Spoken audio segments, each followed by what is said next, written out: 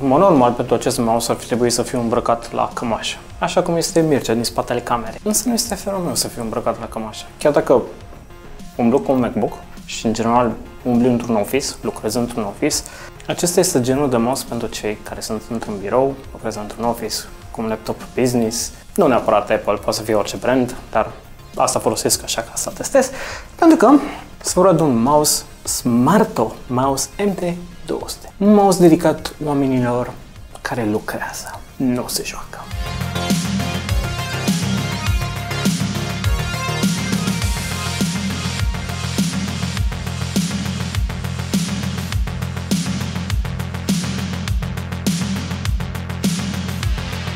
După cum ziceam, mouse oamenilor dedicați muncii și nu gamingului. Pentru că, teoretic, acest mouse are un coating antibacterian. Știți cum lucrurile scumpe, laptopurile scumpe, au tastatura tratată cu o soluție antibacteriană. Așa este și acest mouse. Pentru că, teoretic, mouse-ul și tastatura sunt cele mai mizerabile lucruri pe care puteți să le atingeți pe parcursul unei zile. Asta dacă nu lucrezi o firmă de salubritate sau vă prindeți voi. Revenim la mouse după aceea. În afară de pungă, mai avem aici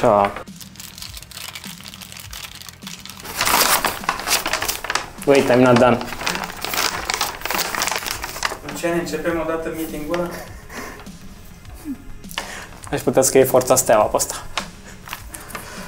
Da. Um, engleză. Cum se conectează, că este la 2,4 GHz, Bluetooth sau off. Manual standard, aș putea spune. Și pe cuvânt, în loc să risipească ta hârtie, mai bine făcea un hârtie mică cu un QR code, scanai cu telefonul și intrai pe pagină și vedeai exact pentru ce ai nevoie.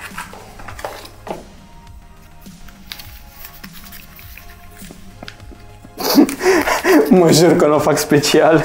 And this is the warranty. Teoretic garanția pentru cei din state sau care nu primesc direct o fișă de garanție așa cum se întâmplă în România. E...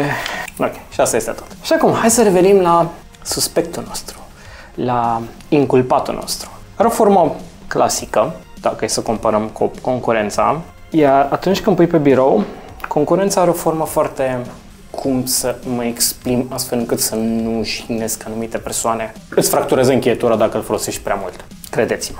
Acesta este mouse-ul meu, pe care nu prea îl folosesc pentru că folosesc touchpad-ul, pentru că este destul de incomod. Dar la nevoie, da. Pe când acesta are o formă ergonomică. O formă clasică de mouse. O formă normală. Nu știu dacă se vede, nu se vede. Se vede? Ah, perfect. Deci, mâna îți stă normal pe el, inclusiv degetul mare îți stă normal pe el. Ai butoane de back, forward, nu trebuie să faci swipe, nu trebuie să te chinui să miști degetul. Ca la asta. That's a gimmick. Prefer buton de back și forward, prefer rotița normală în loc să dau cu degetul. Iar clicurile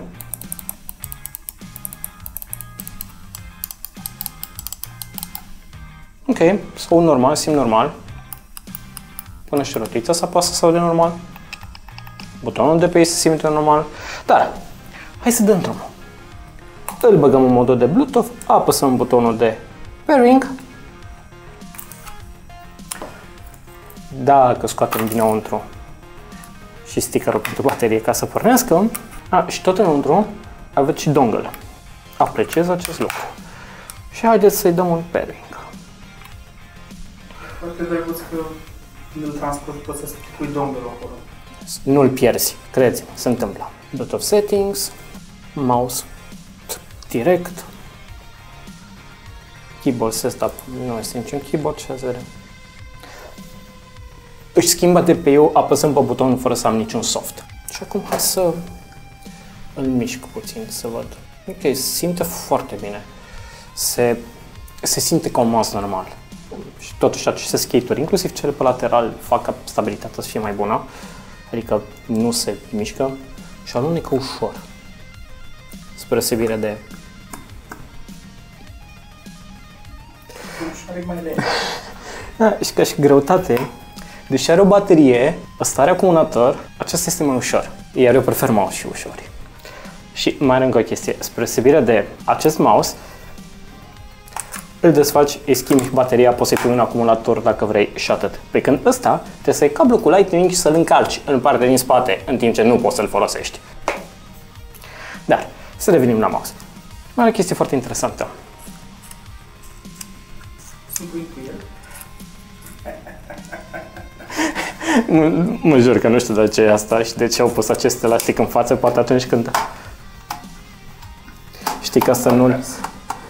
Da, exact, bumper cars. Să nu dai direct în, dai în elastic. Dar se simte bine, se mișcă bine. Să încerc să mă joc puțin ca să văd și cum se mișcă în timpul unui joc și pentru acest lucru voi folosi GeForce Now pentru că este totuși un MacBook.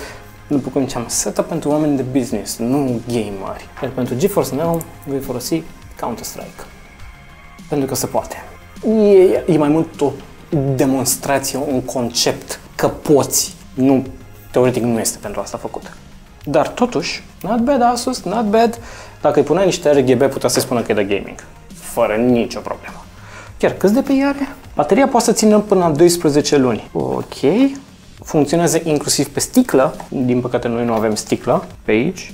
Și are 4200 de dpi. Suficient pentru Office, chiar ultra suficient. Pentru 4K sau mai multe monitoare cu rezoluție mare. Dar nu, majoritatea ține 1600 de dpi. Nu știu persoane care să fie gamer să joace cu mai mulți de Ce? 1600. Te rog.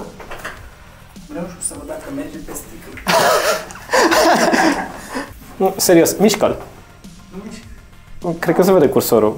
Dă- Dă-și tu pe close aici, te rog. Stai, stai, cum am- a, Acolo, acolo. A, mai sus, mai sus, mai încă puțin. A, a, Ale. Îl folosește pe sticlă. pe geamul din spate. merge pe sticlă. Avem și sticlă aici. Da, nu avem masă de sticlă sau mouse de sticlă. Nu avem sticle goale, dar Nu știu dacă mergea pe sticlă goală. Yes. Ca un adevărat businessman, mă joc pe MacBook. Ar fi trebuit să mi-am cravata, papionul. Nu m-am gândit la asta. Trebuia să, trebuie să ne facem recuzit aici. Să-ți dau cămașa mea să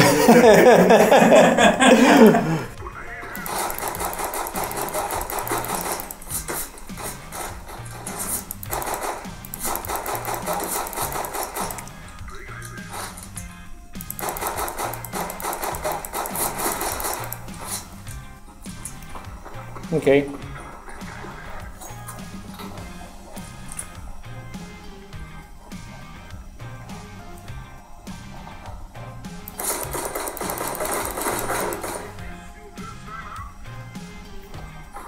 Hmm, am avut un mic. Ok, și pe această notă am putea spune că este un mus care inclusiv te poți juca, un mus care se mișcă bine, se simte bine, ai dongle, ai Bluetooth, dacă avea și cablu deja aveai toată opțiunea, dar nu văd sensul unui cablu. Cam asta este concluzia noastră, este un mouse foarte bun, care inclusiv te poți juca. Am mai completat ceva? Da, vreau să te întreb cum se simte mâna. Cum, Te rog. care e părerea ta? Te rog, se simte foarte bine, adică cel pe care îl folosim noi aici mi se pare ușor mare, pe când ăsta mi se pare că se simte fix. Dar e pe mâna mea, așa, practic. aș putea zice. Bine, eu am mâna o idee mai mică și tot mi se pare, spre sigură de fracturată. Nu, asta nu e un mouse, îmi pare rău. Da, butoanele de front și back ce sunt un pic mai zgomotoase, dar în rest este perfect. Yes. I mean, și cred că are o greutate, nu mi se pare atât de ușor, Mm-mm. dar este Da, e fo- optim e- pe, pentru echilibrat. mine. Da, pentru mine e super. Da. Ca și concluzie, dacă voi ați lucra într-un mediu de office, într-un mediu de birou, ați cumpăra MD200-le, ați folosi MD200-le, lăsați comentariu. Și dacă tot e să faceți scroll în partea de jos, nu uitați că mai nou avem și partea de care puteți să dați join, partea de membership, care avem chestii speciale pentru cei care dau join. Iar prețul este foarte, foarte mic, credeți-mă. Și dacă nu vreți acest lucru, avem o pagină de Patreon, avem un Instagram, un Facebook, un Twitter și cel mai important un server Discord în care discutăm cu cei de acolo pentru că comunitate foarte, foarte mișto. Vă mulțumim că vă uitați la noi, vă mulțumim că dați like, share. Eu sunt Lucian, noi suntem Vlogtehnica, acesta este mouse de la Asus și mai butonăm ceva data viitoare.